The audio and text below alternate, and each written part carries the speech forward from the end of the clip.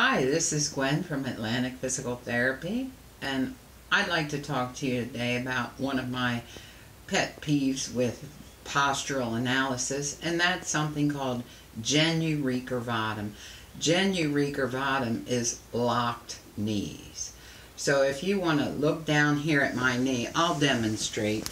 All right, this is the normal standing posture where your ankle and your knee are in alignment with your hip.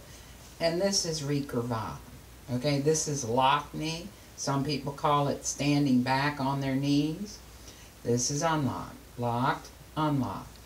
My problem with this is this position can cause many problems. Pro one easy to detect problem is it can cause knee pain.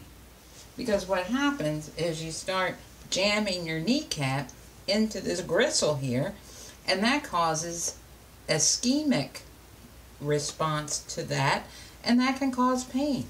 So you want to alleviate a lot of postural problems by just unlocking your knee. This again is Gwen from Atlantic Physical Therapy in Salisbury, Maryland. Thank you.